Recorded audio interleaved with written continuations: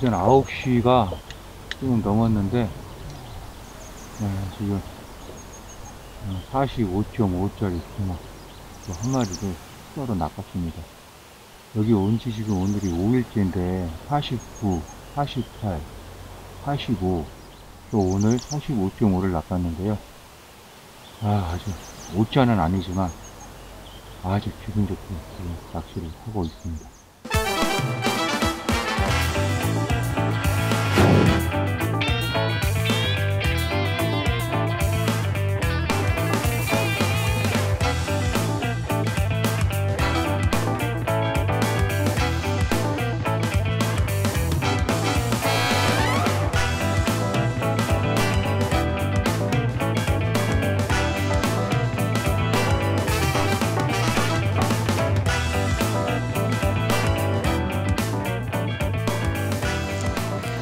안녕하십니까. 월척수배 25시터 라이브가 오늘 함께 할 곳은 어, 경북에 있는 그 개운지라는 그 중대형급 저수지입니다. 아, 저는 이곳 지금 상류에 지금 그 어, 물이 빠졌을 때 어, 역기풀이라고 그러죠. 거기가 이제 자라가지고 삭은 그 상류에 지금 자리를 했고요. 오늘 이곳에서 어, 큰 붕어. 이곳이 또 오자가 나오는 그런 곳이다 보니까 어, 사자 중후반대 붕어를 노리기 위해서 이곳에 왔습니다. 오늘 하루 동안 이곳에서 잠복 근무를 하면서 오늘 또 어, 진짜 어, 촉법소년이나 비행청소년이 아닌 진짜 현행범 아주 그냥 강력한 붕어를 한번 체포를 해 보도록 하겠습니다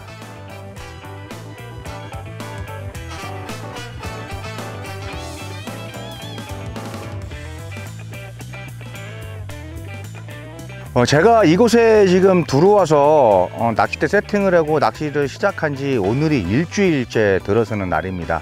어, 제가 이곳에 도착을 해 가지고 어, 이틀째 되는 날 밤 한 10시경에 어, 48cm급 붕어를 한 마리 낚았고요. 그리고 그 다음날 아침 한 8시경에 45cm 붕어를 낚았습니다. 그리고 이틀 뒤에 이틀 뒤에 입질이 없다가 이틀 뒤에 아침 또 한 9시경에 45.5 붕어를 낚은 뒤로 아직까지는 입질이 없어요. 근데 이곳이 지금 수위가 한 20cm 정도 어, 줄었습니다. 지금 배수를 하고 있긴 한데 어, 제가 농어촌공사 들어가서 배수 양을 확인해 봤더니 하루에 1% 정도씩 배수를 하는데 어, 이런 큰 저수지에서는 큰 영향을 못 느낄 거다. 그렇게 생각을 합니다. 근데 어, 공교롭게도 제가 아직까지 지금 45.5를 낚은 뒤로 지금 3일이 지났죠 정확하게. 3일이 지났는데 아직까지는 입질이 없습니다. 오늘 어떤 또 붕어를 만날지는 모르겠지만 한번 또 기대를 해보면서 잠복 근무를 해보도록 하겠습니다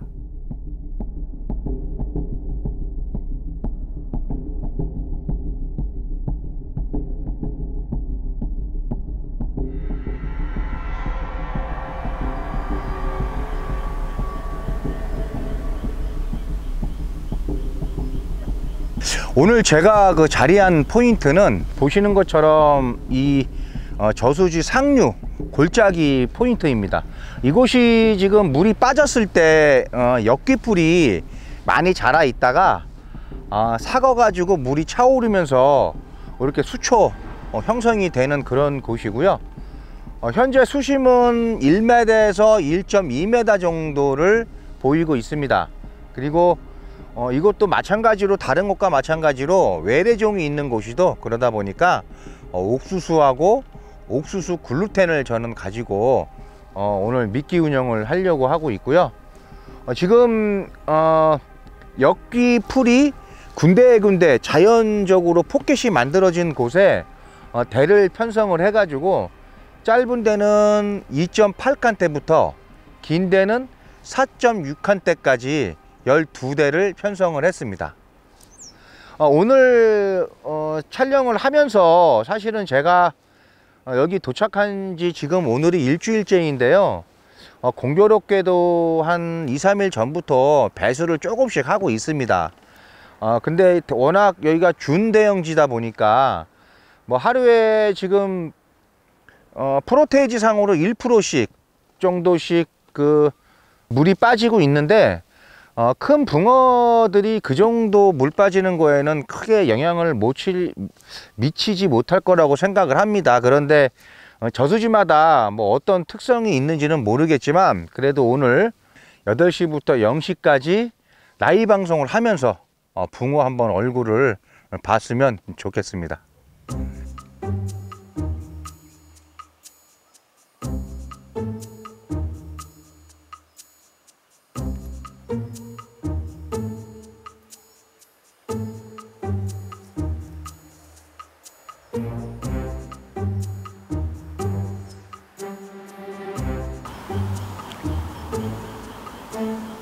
아, 진짜 이게 나와야 되는데. 나와야 되는데. 한 마리만 나오면 되는데.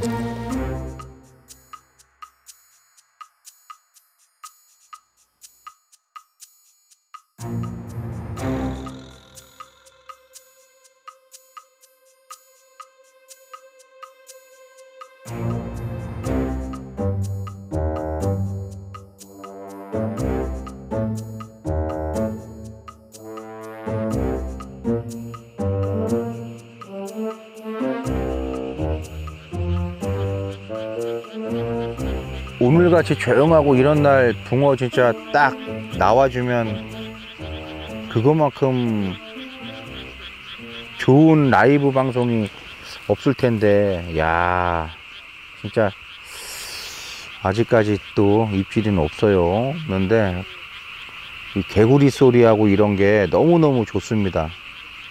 그러니까 이 자연을 벗삼아서 무언가를 한다는 게 그 자체만으로도 좋은 것 같아요. 자체만으로도. 그러니까 낚시라는 게 그런 것 같아요. 좀 어, 관심을 더 가지고 좀 더 열심히 하면은 어, 붕어를 더 많이 낚을 수 있는 그런 음, 비결인 것 같아요. 솔직히 뭐 어, 중요한 게 정보력도 되게 중요한 것 같고요. 예. 어, 최고 중요하죠. 정보력이.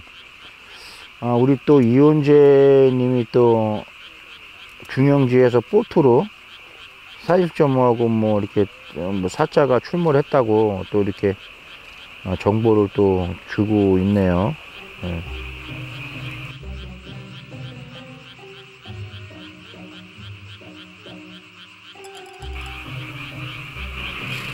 우리 극공 동생이 개운지는 새벽녘이 최고 맞습니다. 제가 여기 낚시 해보니까 여기가 밤 낚시보다는 새벽 낚시부터 아침 낚시가 잘 되는 곳이더라고요. 그 타임 때 놓치면 붕어 얼굴 보기 힘들고 어, 그런 것 같아요. 아주 좋은 지적을 해 줬습니다. 아, 그리고 그 올 여름에 그 남양 특집으로 해가지고 우리 백호 동생이 그 소개한 진짜 귀신 나오는 뭐, 뭐 예산인가 예천인가 뭐 어디에 그 저수지가 있답니다. 진짜 귀신 나오는 데인데 거기 제가 남양 특집으로 들어가서 촬영을 할 거예요. 촬영을 할 건데 관심 있는 분들 저한테 연락 주세요. 그럼 제가 같이 동출을 해가지고 한번 낚시를 하면서 생생하게 라이브로 한번 저수지 상황을 한번 어, 알려드리도록 하겠습니다.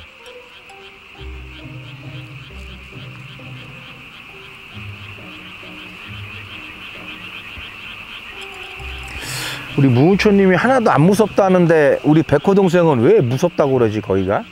귀신 나온다고 그러던데. 뭐 이 무서움의 정도가 사람마다 틀리죠. 사람마다 느끼는 감정이 틀린데 우리 무운초님은 내가 볼 때는 뭐랄까 간이 좀 큰 것 같아요 어.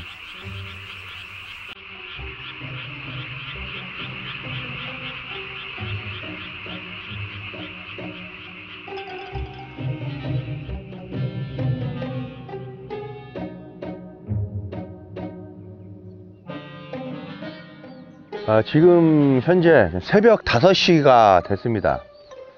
뭐 다른 때 같으면 새벽 5시면 그냥 깜깜해질 텐데 지금 해가 아, 빨리 뜨죠. 날이 빨리 밝다 보니까 어, 지금 뭐 찌가 다 보일 정도로 어, 좀 밝은데요. 어제 그 라이브 방송 하면서 또 계속 집중해서 낚시를 해봤지만 별다른 입질은 없었습니다. 어, 지금 붕어들이 간혹 간간히 이렇게 라이징을 하는 걸로 봐서는 붕어들이 어, 이거 포인트에 머물러 있기는 한데 어떤 이유에서인지는 몰라도 먹이 활동을 하지는 않는 것 같아요. 어, 그래서 어, 별다른 입질은 없었고요. 그렇게 또 날이 지나고 어, 밝아오고 있습니다. 오늘 오전 또 이곳이 다른 곳과는 틀 좀 다르게 오전 낚시가 잘 되는 곳이에요. 그러다 보니까 또 조그만 희망이라도 가지고 오전 낚시를 한번 해서 어, 기필코 붕어 얼굴을 한번 봤으면 좋겠습니다.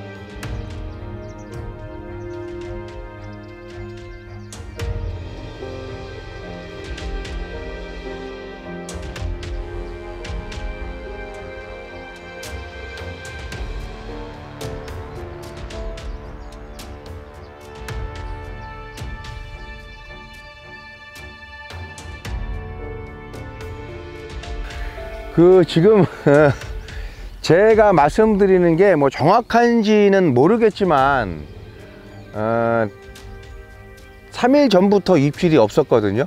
입질이 계속 이제 48, 뭐 45.5, 45 이런 붕어들을 제가 낳고 나서 3일 동안 낚시가 아니, 입질이 없었는데 어, 지금 확인을 해봤더니 동해 쪽에서 4.5 정도 되는 지진이 어, 발생이 했습니다. 3일 전부터 발생해서 어제도 그랬고 그저께도 그렇고 그그저께도 지진이 발생이 됐었는데 어, 아무래도 그 영향도 있지 않나 그런 또 생각을 해 봅니다. 왜냐하면 이 자연 환경의 변화죠. 지진이나 뭐 태풍이라든가 이런 거에 이 어, 생물들, 동물들 이런 음, 무리들이 상당히 민감하게 반응을 하기 때문에 아마 그 영향도 있지 않나 그런 또 생각을 해 봅니다. 뭐 제가 말하는 거는 그냥 붕어 안 나오니까 그냥 핑계 겸 해서 그냥 핑계 대는 겁니다.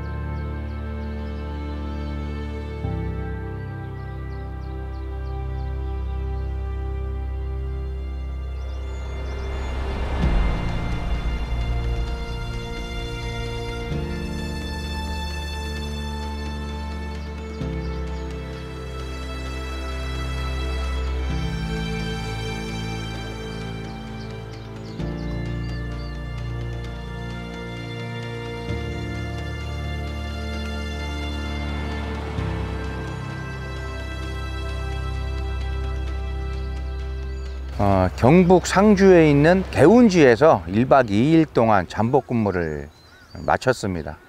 어, 배수가 조금씩 이루어지고 있는 가운데 사실은 좀 붕어 얼굴 보기가 힘들지 않을까라는 그런 생각을 내심 음, 하고 촬영에 임한 건 사실입니다. 근데 또 어, 한편으로는 어, 촬영하기 며칠 전까지 제가 여기서 48, 뭐 45.5, 45, 그 다음에 34 되는 붕어를 네 마리나 낚아놓은 상태였기 때문에 그래도 조금이라도 한 가닥의 희망을 가지고 진짜 열심히 밤을 지샜는데요. 아쉽게 입질을 보지는 못했습니다. 뭐 여러 가지 조건이 있겠죠. 뭐 제가 이제 방송하면서 멘트도 우스갯소리로 했지만은 뭐 또 동해안에서 4.5의 지진이 3일 동안 또 지속된 그런 영향도 있을 것이고 또 최고로 또 관건이었던 거는 배수가 조금씩 됐다는 게 그게 좀 붕어가 먹이 활동을 하지 않는 원인이지 않았나 그렇게 생각을 합니다. 오늘 어, 아쉽지만 어, 붕어를 낚는 영상은 제가 어, 좀 미흡하지만 그 액션 카메라는 카메라로 제가 좀 찍어 놓은 게 있어요 미리. 그걸로 우리 또 피디님이 편집을 잘 해서 우리 시청자분들이 볼 수 있게끔 그렇게 어, 그걸로 좀 음, 붕어 낚는 장면은 우리 시청자분들 만족해 주시고요. 오늘은 여기서 이만 낚시를 접도록 하겠습니다. 어, 항상 말씀을 드리지만 어, 다음번에는 더 좋은 곳, 더 멋진 곳에서 좋은 모습으로 찾아뵐 수 있도록 하겠습니다. 감사합니다.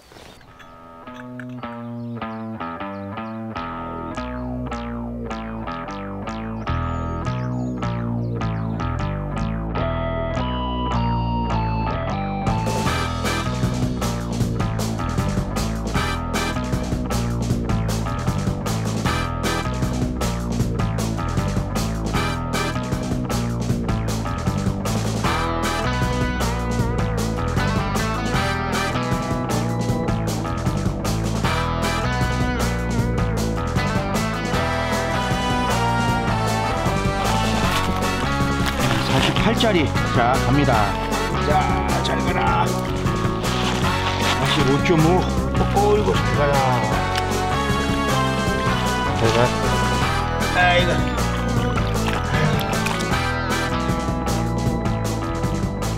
일단 이것도 다른 곳과 마찬가지로 어, 수초가 형성되어 있는 곳, 뭐 수물나무라든가 아니면 뭐 엽기풀이라든가 떼짱이든 갈대든 이런 수초가 형성되어 있는 곳을 선택해서 낚시를 하시는 게 입질을 볼 수 있는 최고 빠른 방법이고요. 그리고 또 아무래도 이곳이 옥자 터다 보니까 큰 붕어들이 많이 서식을 합니다.